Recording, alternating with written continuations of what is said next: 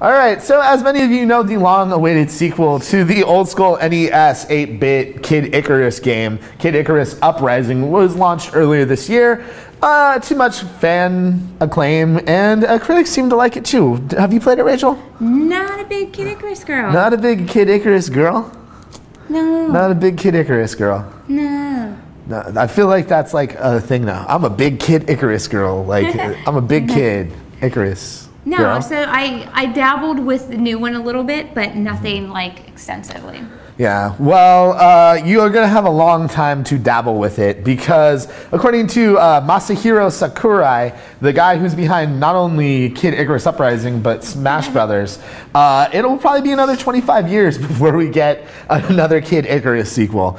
Uh, so, uh, recently in an interview, uh, he because we pushed a lot into the game in order to let people have this short yet deep experience, uh, the novelty of that would likely grow thin in the next game. For now, my thought is that perhaps we'll see someone else besides me make another Kid Icarus in another 25 years. That is, if Nintendo is still around in 25 years and not bankrupt. They did lose a bunch of money this year for like the first time ever. It's a cute outfit. I wonder why I don't see a lot of Kid Icarus cosplayers. Like cosplayers? Yeah. I don't know because like there hasn't been a Kid Icarus game for like the last 25 years.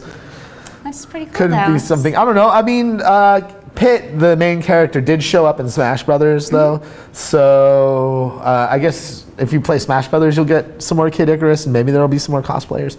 Uh, why don't you cosplay as Kid Icarus?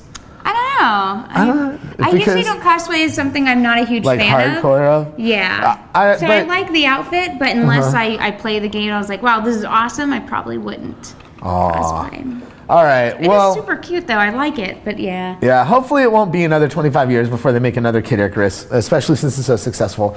But Nintendo does have a way of taking some of their cooler franchises and kind of leaving them by the wayside and just making Mario sports titles. I don't want Mario sports titles, but I'm Yeah. always down for new Mario platform. Yeah, no, Mario platformer games are cool, but I mean, you know, even franchises like Metroid, I don't think get enough love from Nintendo. Uh, it's always just Mario this and Mario that, and it would be nice to see them take things like Kid Icarus and kind of expand upon them like they've done with the Mario franchise. Yes. But uh, they're probably not going to do that because they're a weird, quirky Japanese game company, and they've only got all sorts of that weird was fetishes. exclusive to Nintendo that I want a sequel to is Eternal Darkness. Eternal Darkness. It's not a uh, Nintendo title, but it was exclusive to Nintendo GameCube, and I want it so bad. Who knows? Maybe more than someday any soon. other any other sequel out. Let's go to Japan and throw radishes at their building It's not until they get Nintendo. to.